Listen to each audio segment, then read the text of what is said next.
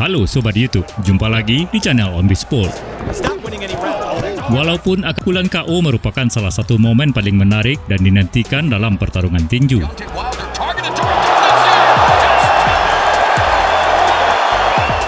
Biasanya, petinju yang memiliki rasio kemenangan KO tinggi, pertarungannya akan sangat diminati dan lebih dijagokan untuk menang. Sehingga ketika petinju yang dijuluki Raja KO ini menerima kekalahan saat bertarung, peristiwa itu akan menjadi momen paling mengecewakan bagi penggemar tinju. Dan di video kali ini, kita akan melihat beberapa momen tak terlupakan ketika giliran petinju Raja KO dipukul KO mengenaskan.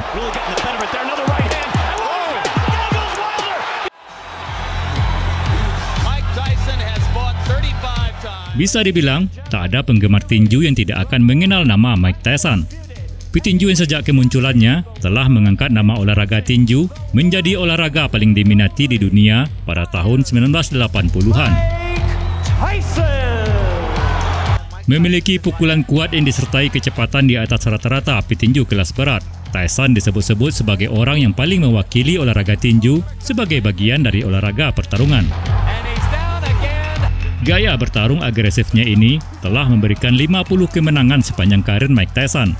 Dengan 44 di antaranya adalah dengan KO dan TKO.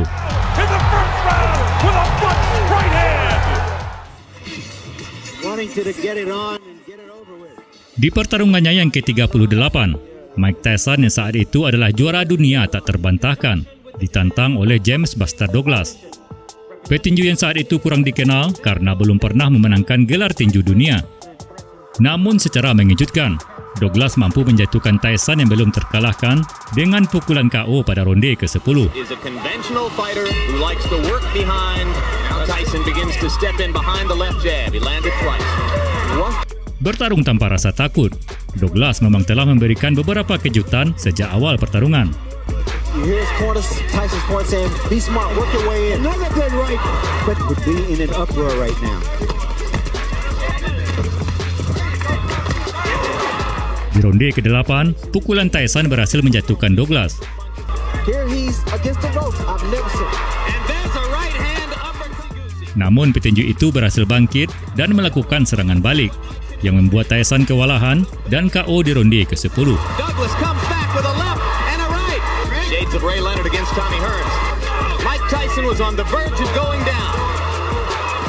To try to get him the shot that will finish things in. Oh, the uppercut. What an uppercut by Douglas, and down goes Tyson.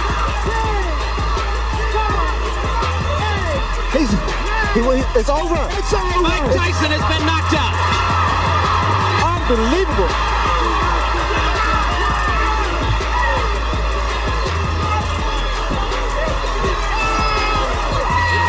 This makes Cinderella look like a sad story. Rumble in the Jungle, salah satu pertarungan yang sangat terkenal pada tahun 1974. Pertarungan antara dua nama besar di kelas berat, Muhammad Ali versus George Foreman. Muhammad Ali diposisikan sebagai petinju underdog yang diprediksi tidak akan mungkin bisa bertahan dari pukulan Foreman yang sudah dikenal sebagai salah satu yang terkuat dalam sejarah tinju. Ya, saat itu Foreman adalah petinju tak terkalahkan dengan 40 kemenangan, 37 kemenangan KO dan TKO. too much for him. There's the left hook that is so devastating. The tremendous left hook going to stop Ali. Here we go. Ali quickly across the round. Namun siapa sangka, ketika bertarung, Muhammad Ali menggunakan strategi nekat dengan hanya melindungi kepalanya agar tidak dipukuli dan membiarkan pukulan kuat Foreman mengenai tubuhnya. Uh?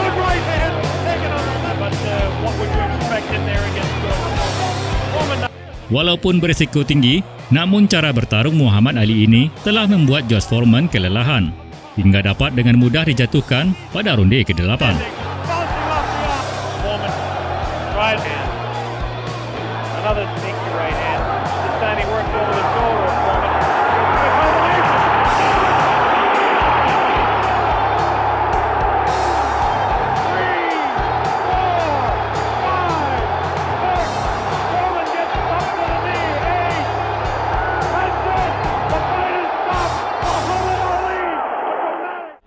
spread it out across the arena.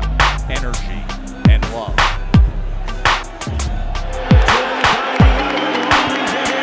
Sebelum berhadapan dengan Tyson Fury, Deontay Wilder adalah petinju tak terkalahkan yang hampir memenangkan semua pertarungannya dengan KO dan TKO.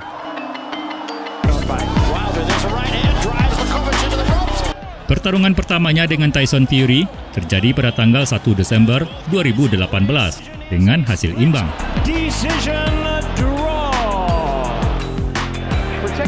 Namun di pertarungan kedua, Fury berhasil menjatuhkan Wilder beberapa kali sebelum akhirnya diputuskan kalah TKO di ronde ketujuh. It's over. Tyson Fury has become the new WBC heavyweight champion of the world.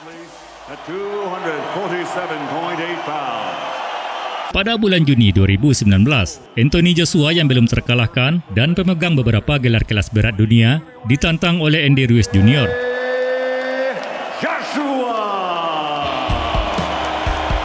Anthony Joshua adalah salah satu petinju kelas berat paling digemari yang telah memukul KO 21 dari 22 lawan yang pernah dihadapinya. There's a grin from White, but the legs are betraying him. December 96 spring. See how Joshua deals Di saat pertarungan, Joshua berhasil menjatuhkan Ruiz di ronde ketiga. himself in front of Joshua. Yep, right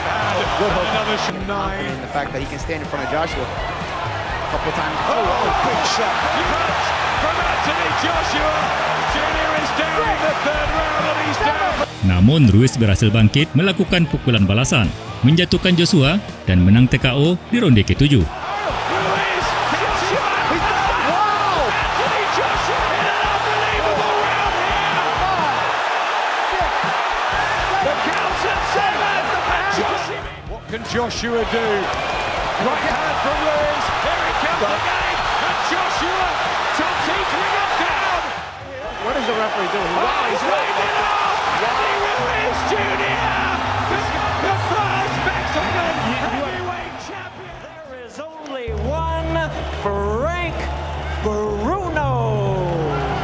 Melihat tubuh tinggi kekar yang dimilikinya, tak mengherankan jika Frank Bruno memiliki kekuatan pukulan yang luar biasa. Dia dikenal sebagai Raja KO dari Inggris. Karena dari 40 kemenangannya, 38 adalah dari kemenangan KO dan TKO. Namun selama karirnya, Bruno juga telah mengalami lima kekalahan KO dan TKO. Pertarungannya yang terkenal adalah dua kekalahan dari Mike Tyson pada tahun 1989 dan 1996.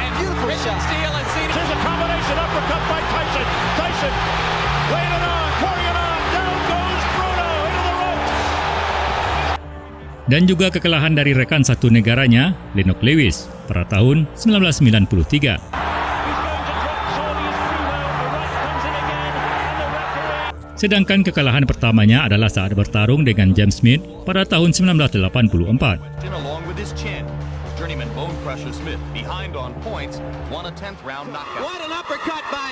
Sekian dulu video kali ini. Terima kasih sudah menonton dan jangan lupa subscribe channel ini. Selamat beraktivitas dan sampai jumpa di video lainnya.